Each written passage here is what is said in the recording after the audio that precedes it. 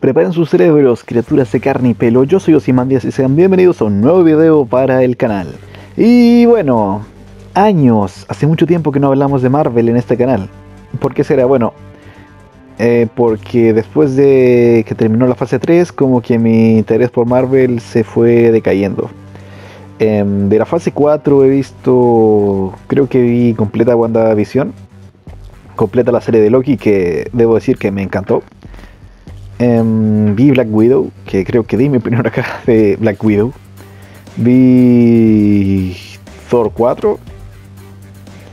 Em, Hombre Lobo por la noche. Y ahora Quantum Mania. Ah, claro, y Spider-Man eh, Into the Spider. Eh, no, Into the Spider-Verse. Eh, la nueva, la última, el No Way Home. Y Doctor Strange Multiverse of Madness. Y ahora Ant-Man and the Wasp, Quantum Mania. Bueno, para ser sincero, me gusta. Bueno, vamos por partes. Em, como verán, no he visto. No he visto todas las películas ni las series que han sacado en este último tiempo. No vi Shang-Chi, no vi Los Eternos. No he visto. ¿Qué más no vi? Eh, la serie de Hawkeye, la serie de She-Hulk, la serie de Miss Marvel. ¿Qué más no vi? Eh, Falcon and the Winter Soldier. Mm, y tampoco vi Wakanda Forever. Em, bueno, en parte porque la primera de Black Panther no me gusta mucho, que digamos. y, y bueno, Thor 4 sí la vi, pero como una vez dijo Mark Simpson, si no tienes nada bueno que decir de alguien, entonces no digas nada. Y por el respeto que le tengo al superhéroe Thor, no quise hablar sobre Thor, Love and Thunder. Y también por el respeto que le tengo a Christian Bale. Pero bueno, hablemos de Quantum Mania. Bueno, eh, vi esta película. Uno, porque soy fan de Paul Rudd. Y dos, por el villano.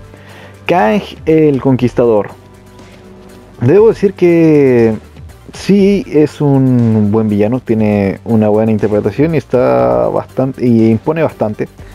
En esa, la parte de final cuando pelea a puño limpio contra Scott es bastante no sé si es intensa. O sea, la paliza que le dan a Adman es bastante intensa. Pero es uno de los primeros. Pero vamos a hablar de eso después. Hablemos de las cosas buenas que tiene. Eh, bueno, con actores como los que tiene Paul Rudd, Michael Douglas, eh, Michelle Pfeiffer. Eh, no se puede hacer una mala actuación. Tal vez la hija de Scott eh, siento que está fuera de lugar. Inclusive siento que el doblaje la vi doblada porque sí me da que flojera ir a ver Marvel en, subtitulada.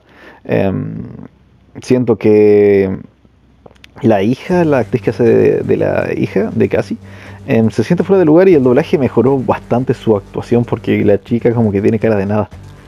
O no sé si es mi idea o yo estaba demasiado somnoliento viendo la película. Que igual en parte se siente como extraño, no sé, como que su personaje está bueno, este lío que viene haciendo Marvel desde hace mucho tiempo, que mete personajes más o menos juveniles, que son básicamente una caricatura de un influencer de Instagram. Casi Lang es bastante bastante nada dentro de, o sea, no tiene mejores no tiene mejores habilidades que Ant-Man, no es diferente Ant-Man. En ese caso prefiero más a Hope eh, como superhéroe.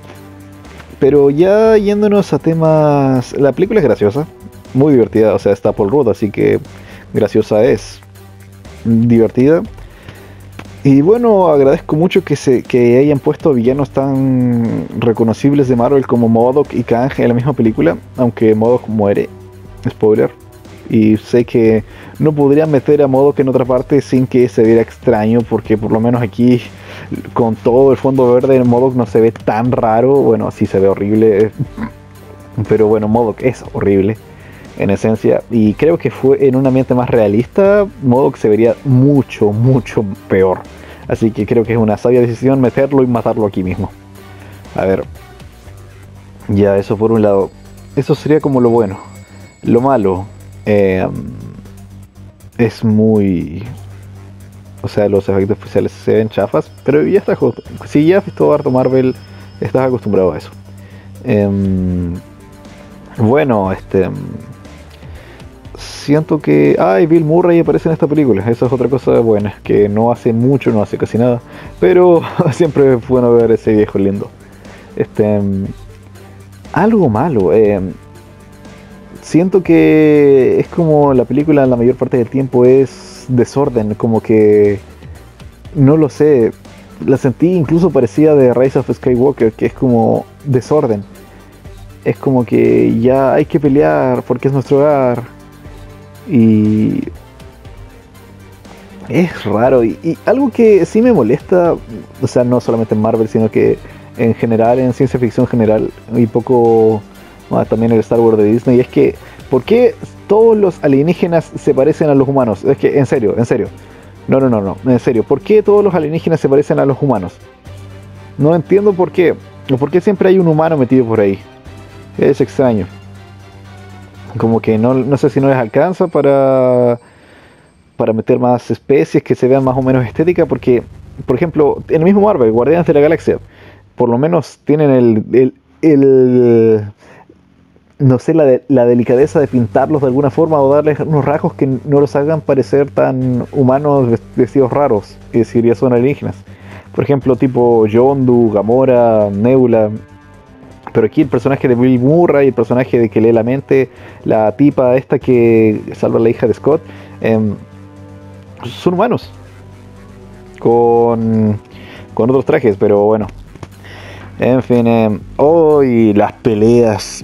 ¿Dónde lejos quedaron esos tiempos de, la pelea con, de Iron Man y Thanos? Esa, esa pelea en, en Titán, wow, esa es de las mejores escenas de pelea de Marvel.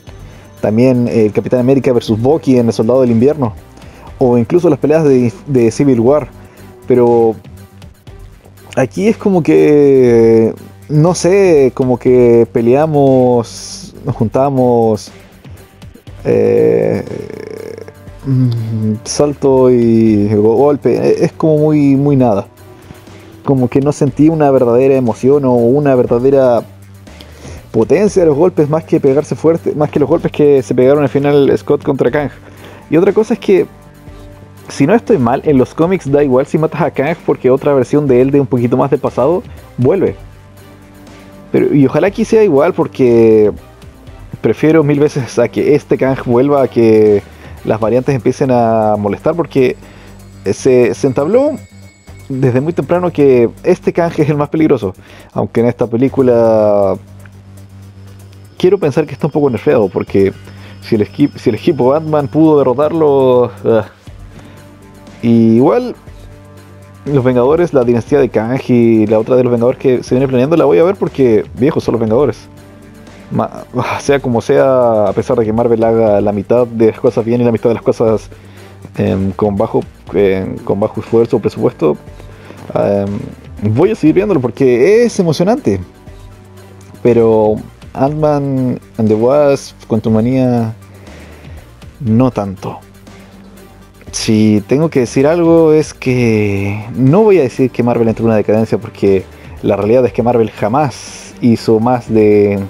Marvel no, tiene en su haber más de cinco películas que son objetivamente buenas y que no solamente son unas buenas películas de acción.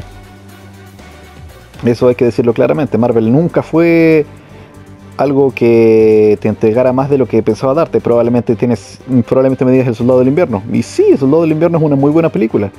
Que habla como de la el cómo te miente tu gobierno y etcétera, pero fuera del Soldado del Invierno, Infinity War, Iron Man 1, Marvel siempre ha sido así, solamente que ahora lo hacen más rápido y peor